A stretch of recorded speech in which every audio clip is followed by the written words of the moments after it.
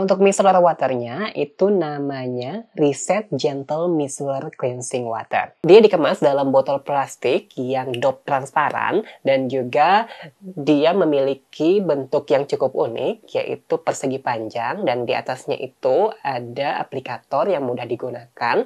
Tinggal diklik aja kamu bisa tuangkan ke kapas. Dan tutupnya ini anti tumpah sehingga nggak mudah bocor. Di bagian kemasannya ini juga tersedia informasi produk produk, cara pakai, dan juga ingredients lengkapnya. Untuk micellar waternya, untuk start ingredientsnya ada PEG 6 caprylic, di mana PEG 6 caprylic ini berfungsi untuk membersihkan kulit kamu secara gentle, kemudian dia juga dapat mengontrol sebum di kulit kamu, minimal menimbulkan iritasi juga di kulit kamu. Kemudian ada kandungan mugwort, di mana mugwort berfungsi untuk ngesuting dan juga ngekalming kulit kamu. Ada kandungan aloe vera juga yang bisa ngesuting kulit kamu. Kemudian ada kandungan pantenol, di mana pantenol Retinol ini dapat melembabkan dan juga mengunci kelembapan kulit kamu sehingga saat kamu menggunakan micellar water dari something ini nggak bikin kulit kamu jadi kering. Dan yang terakhir, di start ingredientsnya dalam micellar water dari something ini ada kandungan calendula flower di mana calendula flower ini dapat ngesuting kulit kamu sehingga dia berfungsi untuk antiinflamasi ataupun peradangan di kulit.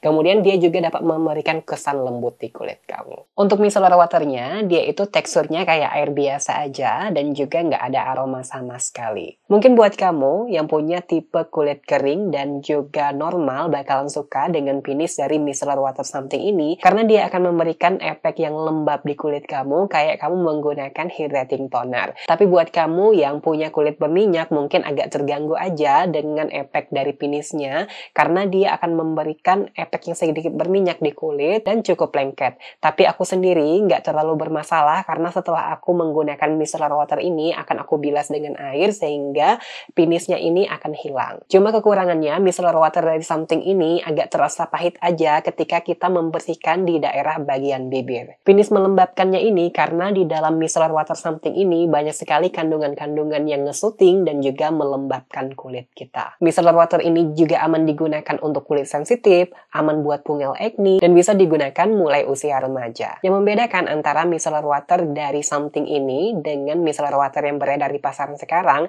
mereka menggunakan non-ionic surfaktan. Di mana non-ionic surfaktan ini, dia itu lebih ringan dan juga tidak membuat zat alami di kulit kita menjadi hilang. Karena di kulit kita itu banyak sekali zat alaminya, seperti ada sebum, ada skin barrier. Nah, dengan menggunakan non-ionic surfaktan ini, dia akan tetap mempertahankan zat-zat alami yang ada di kulit kita. Untuk penggunaan micellar waternya itu cukup mudah banget. Kamu tinggal tuangkan ke kapas, baru kamu aplikasikan atau usapkan di wajah kamu dengan lembut dan untuk pada daerah mata itu diamkan 2 sampai 3 menit baru kamu usapkan. Jangan kamu gosok untuk daerah mata. Karena kita juga menggunakan kapas di mana kapas ini merupakan physical exfoliator dan bisa saja menyebabkan iritasi di kulit kamu. Setelah aku menggunakan micellar water dari something ini, itu cukup membersihkan banget di kulit aku. Apalagi kalau aku lagi males menggunakan cleansing oil, pilihanku adalah pada micellar water. Dia juga tidak menimbulkan jerawat di kulit aku karena memang si micellar water dari something ini diformulasikan non komedogenik jadi nggak akan menyumbat pori-pori kulit kamu. Untuk hasil finishnya sendiri dia itu kayak ngelembapin kulit kayak kamu menggunakan hydrating toner tapi